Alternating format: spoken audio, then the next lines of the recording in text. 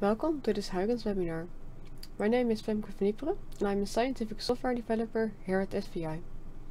In this webinar, I will introduce you to our brand new cluster analyzer tool for cluster analysis of all your single molecule localization microscopy data. The cluster analyzer is available as a separate option for the Huygens localizer from the 22.10 release onwards.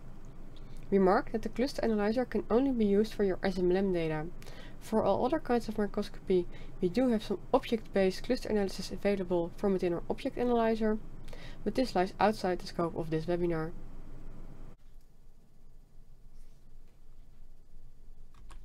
Let's start by looking at an overview of the features of the Huygens Cluster Analyzer tool. This tool allows you to cluster your localizations using either the focal or DBSCAN clustering algorithm. The found clusters can then be individually analyzed.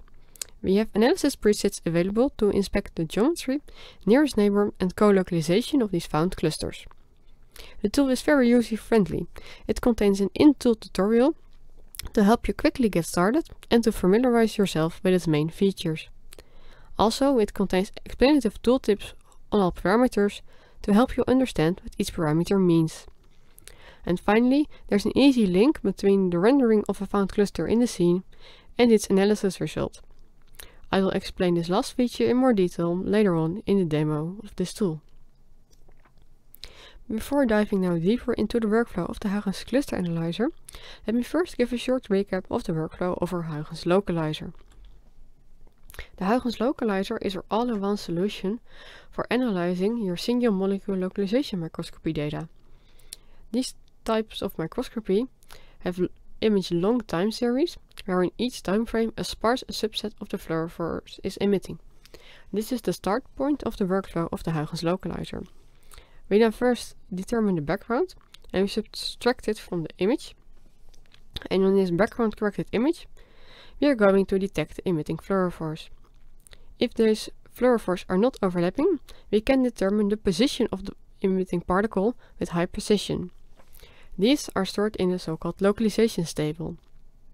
For each of the emitting fluorophores, we store in which frame we found it, its position in X and Y, and also in Z in case of 3D localizations, and some other parameters, for example, its intensity and the uncertainty in the fit. Then optionally, you can filter out some unwanted particles, and you can correct this table for drift. Based on any of those three tables, you can then render a visualization to obtain a high-resolution image of the specimen under the microscope. We will not go into the in the details of why you should use the Huygens localizer and what its big advantages are here. For this, I would like to refer you to our previously held webinar on the Huygens 2D in 3D localizer, which can be watched on our website. Now that we have a rough idea of what the Huygens localizer does, we are ready to explain the Huygens Cluster Analyzer workflow in some more detail. To start the Huygens Cluster Analyzer, you only need the localizations table from the Huygens Localizer workflow and preferably the drift corrected table if, if the correction for drift was necessary. The Huygens Cluster Analyzer workflow can be split into three steps. As I just mentioned, we start with just the localizations table and based on this table, first we are going to cluster it.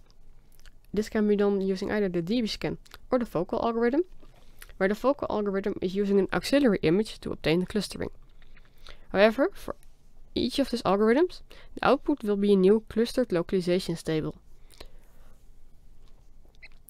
Just like the localizations table, it contains the positions of all fluorophores, but this now additionally contains a new cluster column where we store the cluster index of each localization.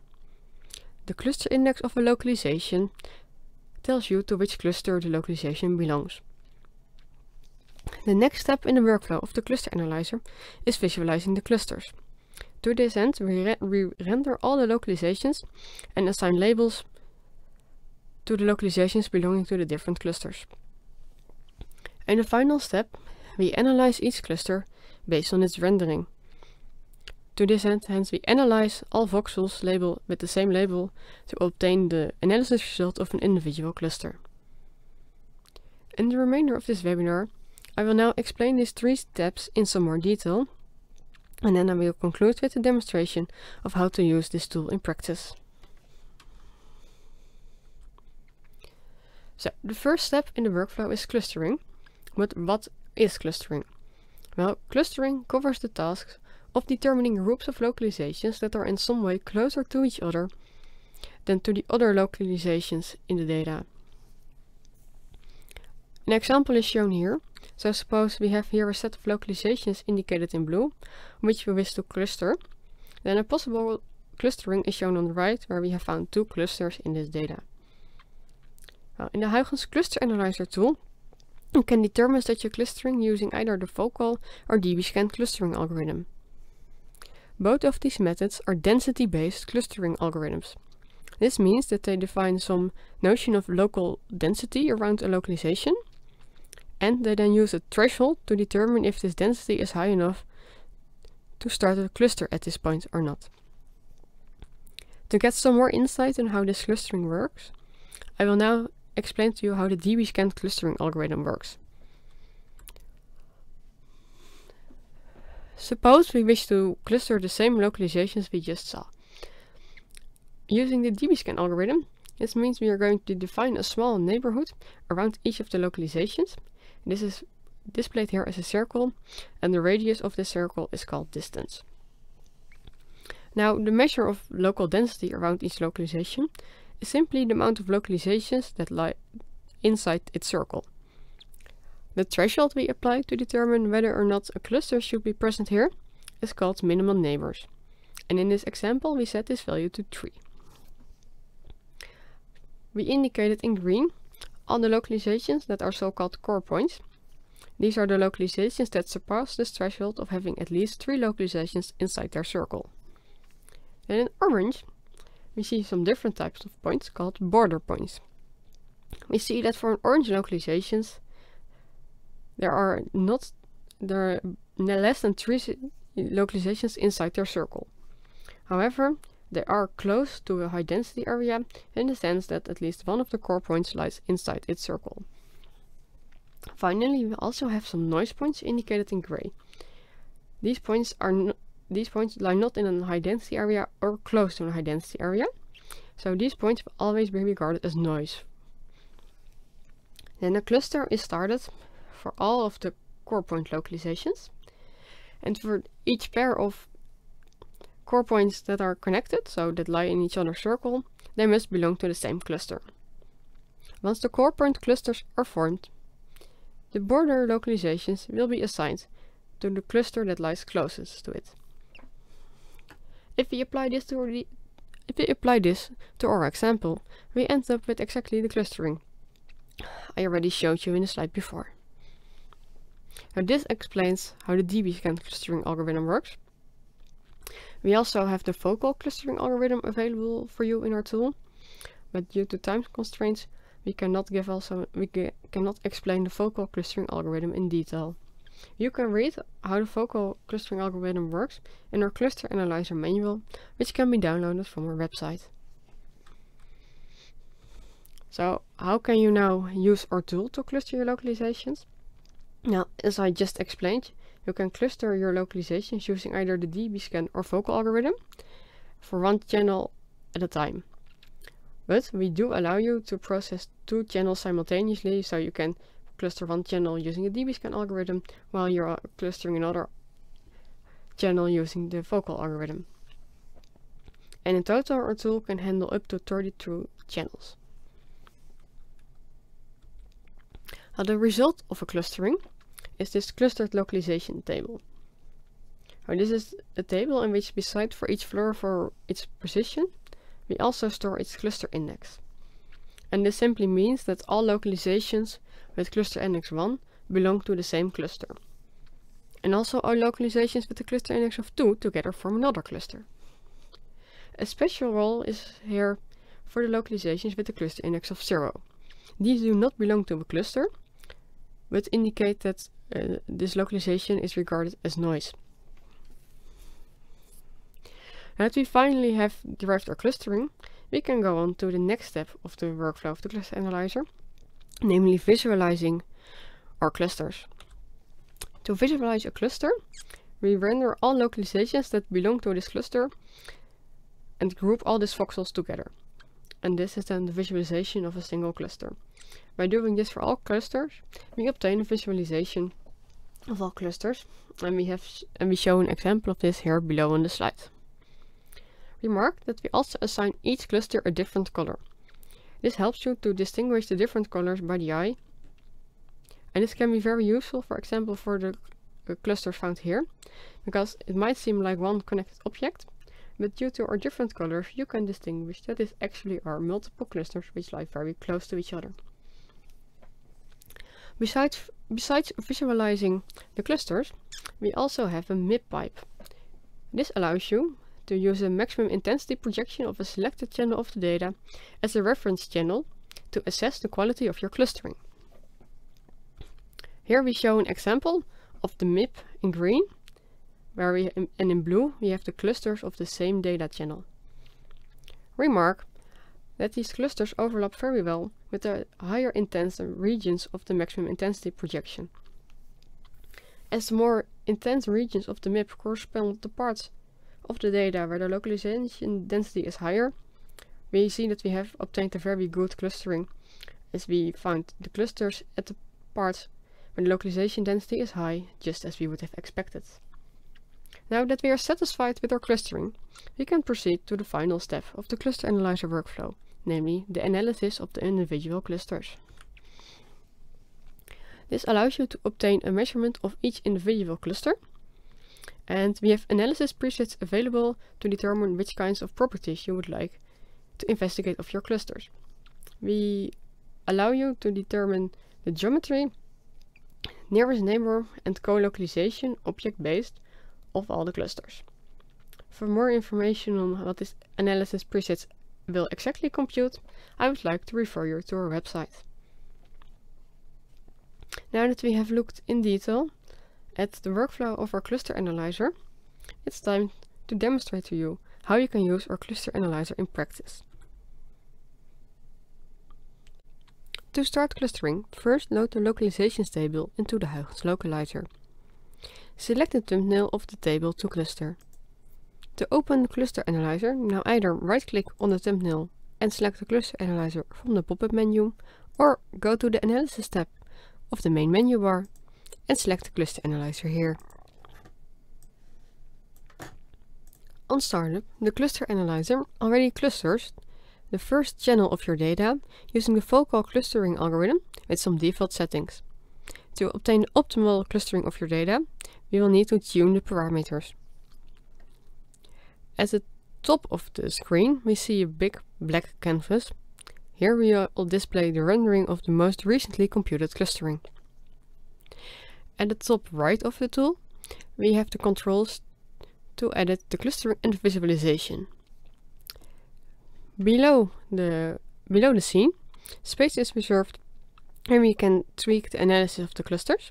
And at the bottom of the tool, some space is reserved to display the analysis results once computed. To now tune the clustering, we start at the Global tab.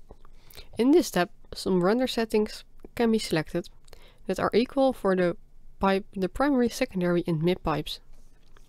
Here you can select the sampling size of the rendered image. By default, we use a value of 20 nanometers to indicate the increased resolution of SMLM data. You can also select the range in Z to render in the image. By default this is selected such that all localizations will fit into the image with an upper bound of 5 micron. If we now wish to tune the clustering, we select the primary cluster group. Below the tab, we can here select which data channel to cluster. We want now to cluster the first channel, this, the, the first channel of our data.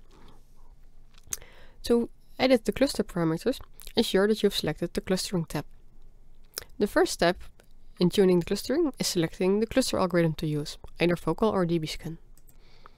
Once you've selected the cluster algorithm, you can always press this little help icon here to obtain some in-tool explanation of the selected cluster algorithm.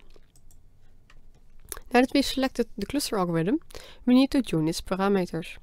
For the focal algorithm, we have some handy tool to help you estimate the parameters to obtain the optimal clustering. If we press this button, a window appears where it asks you to add uh, to enter a search range for each of the parameters of the focal algorithm. When entering the search range for the sampling distance, take care that the expected size of the clusters, if known, should lie within the search range. When, when you're satisfied with the search range, press the Compute Parameters button. We now compute many clusterings of the data using Focal with different parameters. And this leads to a graph where we display the number of found clusters for different settings of the Focal algorithm. The optimal settings should yield a line in this plot which contains a plateau or flat part. We can immediately see that this red line does not contain a plateau, so we need to look at the other two lines which indicate a sampling distance of 30 or 40 nanometers. When we zoom in, we see that the blue line is a bit flatter than the green line, so let us use a sampling distance of 40 nanometers. Next, we need to select the minimal voxel count parameter. This is displayed on the x-axis of our plot. We need to pick a parameter that lies inside the plateau, for example the one in the middle. Once you have selected the parameters, you press Done to export the selected parameters to the cluster analyzer. Now that the parameters have been exported, we still need to press the cluster and render button to obtain our new clustering. Note that this will also update the clusters, the rendering of the clusters in the scene, and we also on the fly have computed the new amount of found clusters, which is visible here just below the analysis table. Next, we can tune the visualization of our clusters in the Visualizations tab. Here we can select how to render each localization. We currently display them as a small Gaussian. And you can also select the full width half maximum of the Gaussian, now set to 70 nanometers. If you want to change these parameters, you afterwards need to press the cluster and render button for changes to take effect. Note that these settings will also influence the analysis, as analysis is done based on the rendering of the clusters. Below we find the threshold slider, and this can be left usually at its default value, which simply means that now the size of a single localization will be approximately equal to the full width half maximum of the Gaussian that's representing it. The remaining three parameters are purely for the visualization, so the bottom one allows us to change the color range over which the range of which the colors are assigned to the clusters. You can tune the brightness and the transparency. The transparency has only effect when using multiple pipes. I will now give an example of this. So we set the transparency to zero to prevent other uh, data of the other pipes mixing into our first channel. We will now use the secondary pipe, which allows you to simply cluster another set of data. And we will now show you how we can use this to compare different settings of the same clustering algorithm. Now first, let me set the settings for the focal algorithm of this pipe to the same values as in the other, is in the primary pipe, with example of the minimal voxel count. We will set this parameter to a lower value, as you can see here. And we will also ensure that this pipe is not transparent and collapse its color so that all the clusters found in the secondary pipe will have the same color. And we now update the rendering. So this decreased minimal voxel, voxel count parameter ensures that we also are accepting some smaller clusters, which is now also easily seen in the scene. We now see some blue clusters appearing, which are smaller than the clusters in the other case. Also note that now here above the statistics table also the count of the clusters has been updated in the sense that we now also have counted the amount of clusters in the secondary cluster group. Note that this indeed contains more clusters than the primary group. To assess the quality of our clustering, we can use a MIP or maximum intensity projection of the data as visual reference. We will enable the same data channel as we have clustered and choose a different contrasting color. But still the MIP is, is not that visible. Uh, the, low intensity, the low intensity regions of the MIP so the space, so the areas where not many localizations are present, can be uh, almost invisible due to the contrast settings. We can increase the gamma value to improve the visibility of these regions. Next, we now need to enable the transparency of the clusters to allow the MIP shining through. Now we can compare the MIP with the clusters and see that these agree well. If you zoom in, you note, might note that the MIP becomes a bit pixelated. To aid this, you can always go to the Options tab in the main menu of the cluster analyzer and enable the high quality MIP. Notice that the MIP now becomes much smoother. Now that we are satisfied with our analysis of the clusters, with the found clusters, we can go on to the analysis of the clusters. We can simply analyze all clusters by just pressing the Analyze All Clusters button. But before this, let me first select the experiment preset. Selecting the experiment preset will determine which parameters are computed for each cluster. We have a very basic parameter preset available that just reports the basic parameters of each cluster, or we can inspect the geometry, the correlation inside channel or the nearest neighbor, and the co-localization of the clusters. I will now go with the correlation inside the channels, so I'm going to find the nearest neighbors for my clusters. I press here then the OK button to export my choice to the cluster analyzer. And now I simply press Analyze all clusters and we see immediately that localization the, the statistics table is filled below. This contains the analysis results of all clusters. If I now would be interested, for example, in finding out where cluster 99 is in the rendering, I can simply left click on the header of the row and the and the, the row will be selected in the table and the corresponding cluster will be highlighted in the rendering. If we ensure that the Inspect Cluster Mouse mode indicated by the magnifying glass here is selected, we can also work this, do this the other way around. So suppose I'm interested in the statistics of this cluster, and I can simply press it, and this cluster will become highlighted in the table and in the scene, and the table is shifted such that I can immediately see its values in the table. You can also note that at the top of the canvas, the distance to the center of mass of its nearest neighbor is shown, and if I zoom in a bit more, we can also see that this distance is also indicated by a thin red line in the scene. And we can do, do even more with this easy linkage, easy link between the rendering and the analysis results. For example, I can very easily now visualize the five clusters containing the most localizations. For this, first select the localization count column of the table and sort it decreasingly. Then select the first cluster in the table and while holding the shift key, move 5, five labels down and again press your mouse button. We now have selected the 5 clusters containing the most localizations.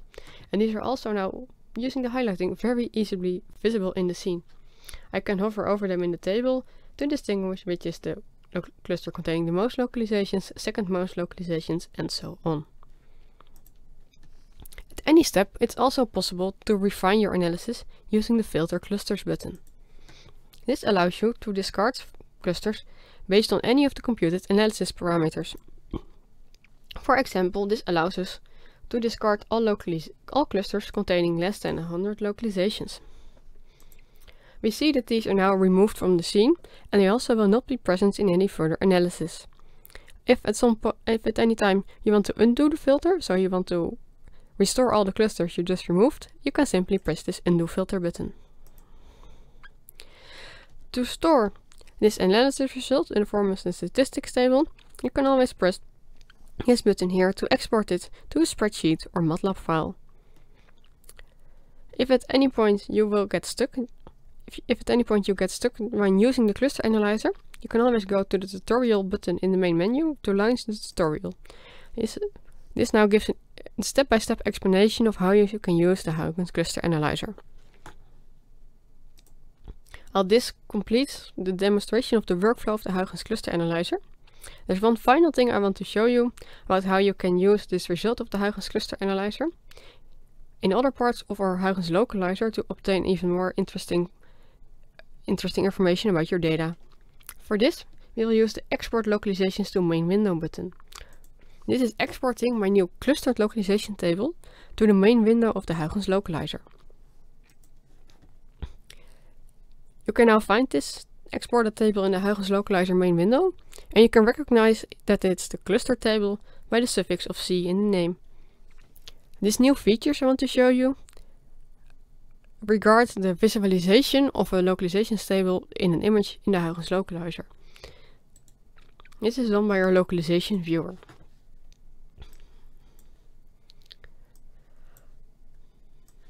Our localizations viewer allows you to render a localizations table into an image.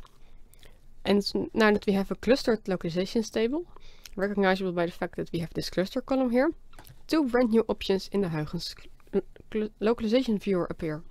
The first one is the color-coded clusters. This allows to render the image such that we color all the localizations belonging to the same cluster with the same color. Can now easily distinguish the different found clusters. Note that there is a lot of red present here and it's indicated by your scale bar. This is the background, so the localization is not belonging to any noise. In case you find this in case you find it unclear that the noise is also rendered, you can enable the hide cluster noise options option. This will render a new visualization of your image where all the localizations that are not part of a cluster are not shown. You can always export this image using the export image button to the localizer main window, which then allows it allows you to save this rendered image. And with the end of the demo, we also have come to the end of the webinar. If you would like to try Huygens after watching this webinar, you can request a test license at our website. If you would like to read some more in-depth information on how the cluster analyzer works, you can read its manual, which you can also download from the SVI website. And finally, if you will be interested in how besides cluster analysis, the Huygens software can help you to localize your SMLM data, you can watch the webinar on the Huygens localizer at svi.nl slash webinars. Feel free to reach out to us if you have any remaining questions at support at svi.nl. With this, I want to wrap up this webinar and I want to thank you all for your attention.